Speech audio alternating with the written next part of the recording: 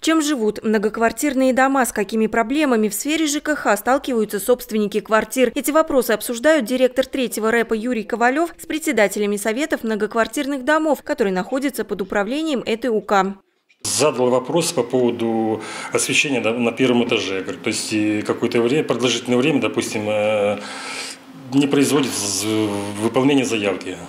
Вот, ну, так, скажем, в общем-то, все остальные вопросы решаются я бы сказал, положительно и положенный срок.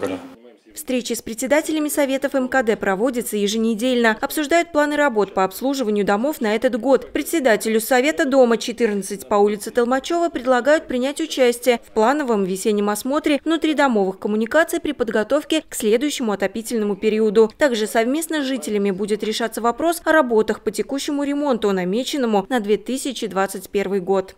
Когда есть диалог, то и решаются все вопросы. Очень приятно, что двери открыты управляющей компании, и все вопросы, которые были заданы, зафиксированы, и совместно будем контролировать их решение. Цель себе ставлю – это непосредственный контакт э, с нашими жителями, э, тесная работа с председателями и советом многоквартирных домов.